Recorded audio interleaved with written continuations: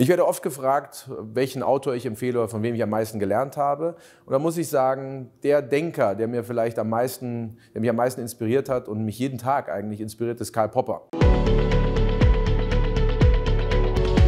Sir Karl Popper, ein Philosoph, ein österreichisch-britischer ähm, Philosoph, der ähm, Wissenschaftstheoretiker war. Das klingt jetzt erstmal sehr technisch, aber er hat sich die Frage gestellt, was können wir eigentlich wissen? Wie kommen wir auf unser Wissen? Und ähm, das ist eine sehr interessante Frage. Er hat ähm, dieses berühmte Beispiel mit den Schwänen. Ja, sagen wir mal, du wärst Biologe vor, vor hunderten von Jahren, da gab es noch gar keine Bücher zum Thema Schwan. Und du bist ja eben Biologe und willst was über Schwäne schreiben, ein Buch. Und dann fängst du also an und jetzt geht es um die Farbe von Schwänen und du setzt dich also an, an See, siehst einen Schwan, er ist weiß, noch ein Schwan ist weiß, dann wartest du ein paar Tage, alle Schwäne sind weiß und dann bleibst du da eine Woche, einen Monat, siehst irgendwie 2000 und sagst dir, okay, wenn ich 3000 Schwäne sehe, dann bin ich mir ziemlich sicher. Und dann schreibst du in dein Buch 3000 Schwäne gesehen oder, so, oder schreibst, Schwäne sind weiß. Das ist jetzt deine Erkenntnis. Und je mehr weiße Schwäne du siehst, desto sicherer wirst du. Das war die alte Form der Wissenschaft, nämlich das sogenannte Verifizieren. Also ich halte aus, ich habe eine Theorie und ich halte Ausschau nach etwas und so bin ich mir sicher. Ja, man kennt das wissenschaftlich bewiesen, verifiziert. Und Karl Popper hat gesagt, das ist völliger Unsinn, denn stell dir vor, nachdem du das Buch geschrieben hast, Schwäne sind weiß, gehst du, gönnst du dir einen Urlaub in Neuseeland, ja, vor 400 Jahren sehr beliebtes Urlaubsziel für Deutsche. Ja. Du bist also in Neuseeland, sagen wir mal, und dann bist du an einem See, entspannst dich und was siehst du? Einen schwarzen Schwan und denkst dir, scheiße, verdammt nochmal, ich habe mich geirrt. Und das ist eben genau die Theorie von Popper. Er sagt, also, weil die Theorie ist jetzt hinüber, falsifiziert, wie er gesagt hat. Er hat gesagt, du hattest deine Theorie, Schwäne sind weiß. Du siehst einen schwarzen Schwan, was passiert? Die Theorie ist falsifiziert, widerlegt. Du hast eine neue Theorie und die ist besser. Denn die Theorie sagt, Schwäne sind schwarz oder weiß. Warum ist das interessant? Weil du merkst, Verifikation bringt ja gar nichts. Das heißt, ob du 1000 weiße Schwäne siehst oder 100.000 weiße Schwäne, Du musst nur einen einzigen schwarzen Schwan sehen. Einen einzigen und die Theorie ist dahin. Das heißt, Popper sagt, Verifikation ist Blödsinn, weil du nie die ganze Welt, du kannst nicht alle Schwäne der Welt auf einmal sehen, das geht gar nicht. Nein, du schaust eben anstatt nach weißen Schwänen, wir schauen immer nach Verifikation. Die Confirmation Bias führt dazu, dass wir immer nur bestätigen wollen, was wir sowieso schon denken. Und da finden wir immer irgendwas.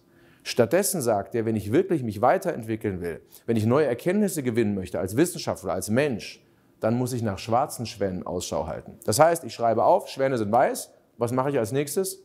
Schaue nach nicht weißen Schwänen. Frage also rum, hat jemand einen nicht weißen Schwan gesehen? Gucke überall, bereise die Welt. Und das ist der Punkt. Und er sagt, der wahre Wissenschaftler, der ehrliche, wahre Wissenschaftler versucht nicht seine Theorie zu bestätigen, sondern er versucht seine Theorie zu widerlegen. Und es klingt negativ, ist es aber nicht. Weil Widerlegen führt zu einem neuen Erkenntnislevel. Ja? Aus der ersten Theorie wird die zweite Theorie und die beinhaltet ja schon die Fehler, die man gefunden hat und ist deswegen besser. Er sagt Newton zum Beispiel, Isaac Newton, der große Physiker, hat die Welt verändert mit seiner Theorie, aber er wurde nach Hunderten von Jahren widerlegt von Einstein. Und Einstein hat ein Buch geschrieben darüber, wie er widerlegt werden kann. Einstein hat geschrieben, wenn das passiert, bin ich widerlegt, wenn das passiert, ist meine Theorie widerlegt. Und Popper hat gesagt und auch mit Einstein korrespondiert, das ist wahre Erkenntnis. Das ist wirklich der richtige Wissenschaftler, der eben nach Widerlegung Ausschau hält. Und das ändert das ganze Denken. Und wir sehen, dass ob es Elon Musk ist oder ob es Henry Ford ist, alle großen Unternehmer, ähm, der Gründer von, äh, von Ikea, Kamprad, alle sagen, das Wichtigste ist, du musst scheitern. Du musst scheitern, denn durch das Scheitern lernst du etwas. Anstatt eben immer zu versuchen, dich zu immunisieren und zu sagen, ich bin toll, ich bin toll oder ich weiß und immer nach Bestätigung für dich Ausschau zu halten. Alles das, was du denkst, versuch es zu widerlegen und so kommst du auf ein neues Erkenntnislevel.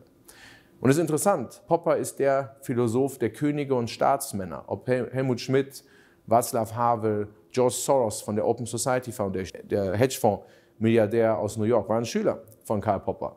Äh, Charles äh, Koch, also der Koch Industries, äh, Koch Industries in den USA, Milliardär, ein großer Anhänger von Popper. Margaret Thatcher in England, Anhänger von Popper, der König Juan Carlos aus Spanien. Alle die, die Praktiker, die wirklichen Praktiker, die etwas nachdenken und sagen, okay, wir müssen eben eine kleine Schritte gehen und immer versuchen, nach der Widerlegung Ausschau halten und dann besser werden. Und deswegen Popper ist auch gegen Revolution. Er sagt, Revolutionen sind Unsinn. Wir müssen Schritt für Schritt Sachen verbessern durch Versuch und Fehlerausmerzung. So entwickelt sich unsere Erkenntnis, unsere Gesellschaft, unser Wissen weiter. Und so ist es letztendlich auch in Verhandlungen. Wenn ich in die Verhandlung gehe, anstatt Bestätigung mir zu suchen für das, was ich sowieso schon denke, ich denke, ach, der will bestimmt das und das, stelle ich immer das, was ich denke zu wissen, in Frage und versuche, liege ich richtig damit, liege ich richtig damit. Stelle Fragen, um zu lernen, wirklich zu lernen. Und das macht mich viel besser, viel effektiver und ich lerne so auch jeden Tag. Das bedeutet nicht, dass ich sage, alles ist Quatsch, wir wissen nichts. Naja, nicht wir wissen nichts, sondern wir wissen einfach noch nicht, ob es das war.